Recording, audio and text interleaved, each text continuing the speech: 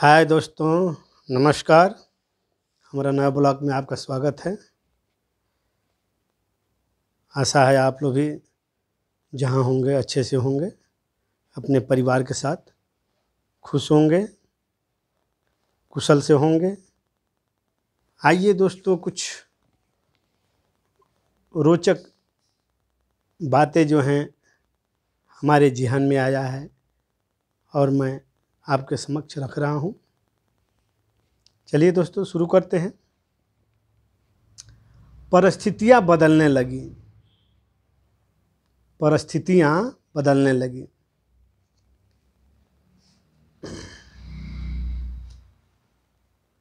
क्या है सन 1911 का वर्ष भारतीय राष्ट्र के इतिहास में महत्वपूर्ण स्थान रखता है। छः साल पहले छः साल पहले वाइस राय लॉर्ड कर्जन ने बंगाल का विभाजन किया था। इस विभाजन ने भारत राष्ट्र को झकझोर को रख दिया। वाइस राय के फैसले से लोगों में इतना रोष फैला कि वे अंग्रेज़ी माल का बहिष्कार कर दिए। लोगों ने, विशेषकर इंग्लैंड के बने कपड़ों का बहिष्कार करने लगे। इन्हीं दिनों वंदे मातरम का उद्घोष किया जाने लगा। भारत को मातृभूमि और माँ का रूप में पूजने लगे लोग। उसे अंग्रेज़ी दास्ता के बंधनों से मुक्त कराने के लिए जन चेतना जगाई गई।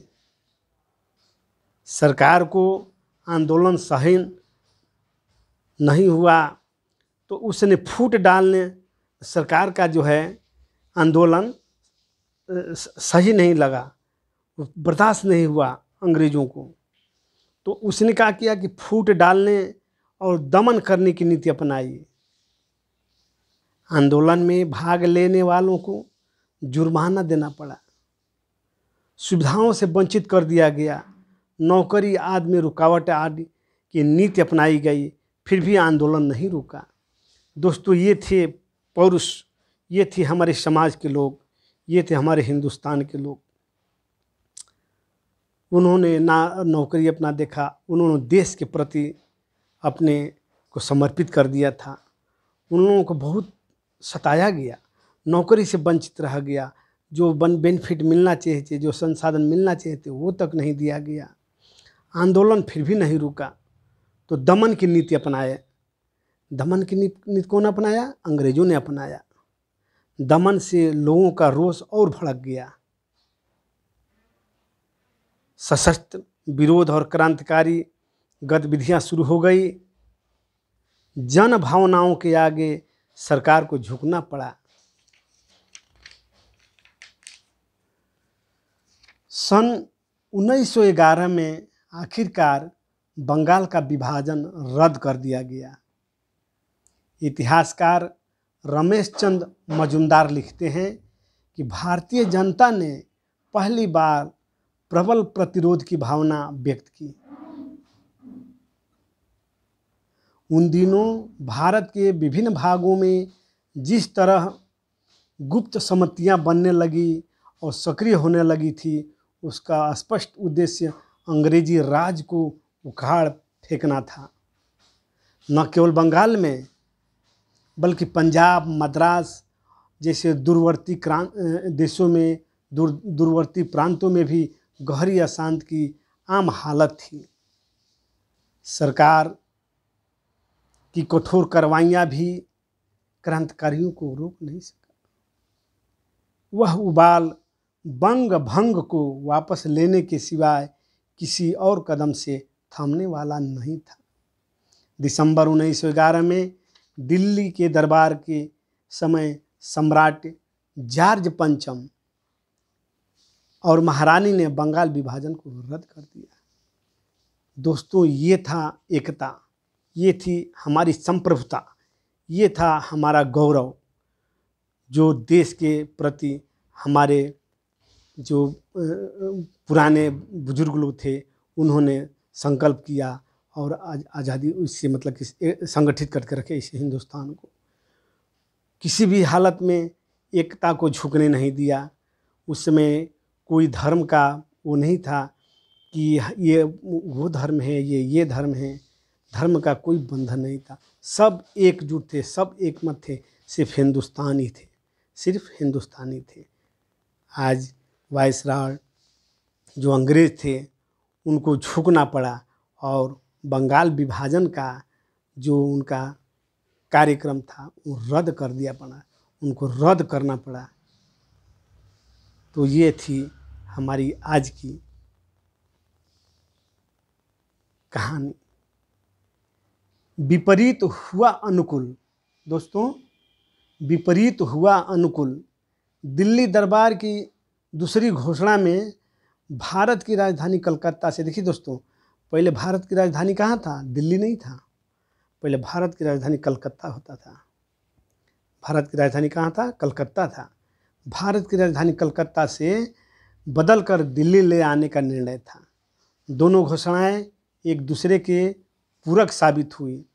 राजधानी यहाँ ले आने से क्रांतिकारियों का उबाल थोड़ा ठंडा हुआ। उसी तरह विस्फोटक रूप लेता जाता तो संभव था कि स्वतंत्र चेतना जगाने का काम वर्षों तक प्रभावली प्रभाव प्रभावशाली ढंग से नहीं चलता। अंग्रेज़ सरकार को यह लाभ हुआ कि वह जन आक्रोश का तुरंत शिकार होने से बच गई।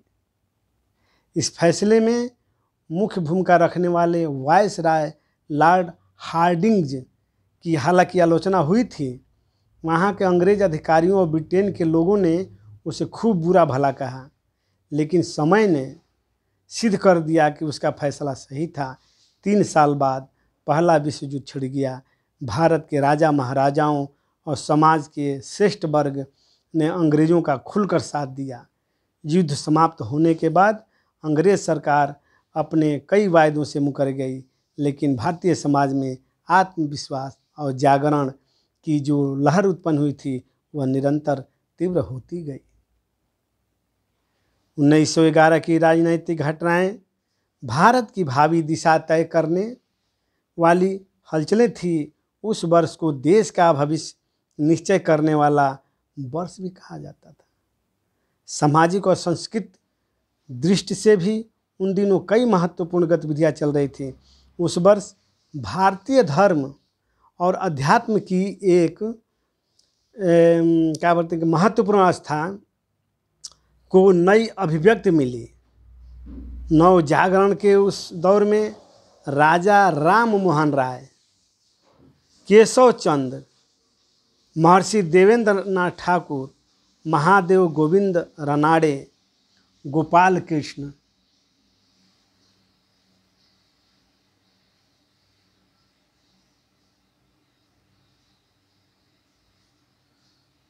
गोखले।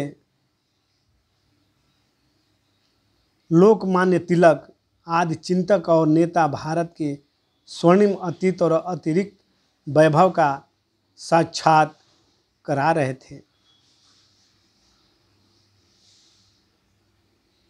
Madam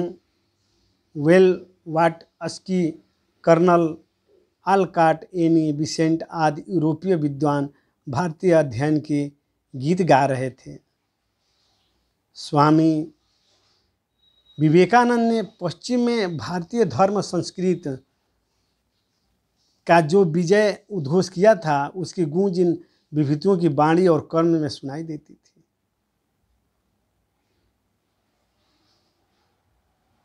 ये था दोस्तों आज का हमारा प्रसंग। आपको कैसा लगा? अच्छा लगा हो तो लाइक, शेयर एंड सब्सक्राइब ज़रूर कीजिएगा दोस्तों।